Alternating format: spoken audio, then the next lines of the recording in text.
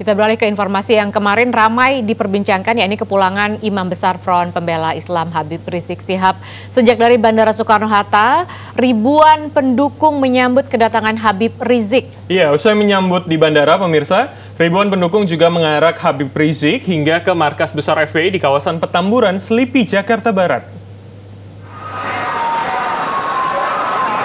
Ribuan pendukung Habib Rizik menyemut di Terminal 3 Bandara Soekarno-Hatta sejak selasa pagi. Kumandang solawat terdengar saat Habib Rizik datang dan keluar dari Terminal 3 Bandara. Ribuan pendukung yang menyemut memberi jalan imam besar Front Pembela Islam yang sebelumnya berada di Arab Saudi sejak April 2017.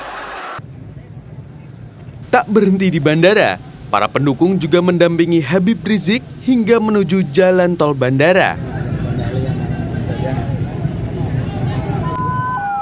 Ribuan pendukung juga telah menanti di kawasan pintu keluar tol Petamburan Selipi. Saat mobil Habib Rizik keluar jalan tol, sejumlah kendaraan pendukung ikut mendampingi menuju markas besar FPI di Petamburan.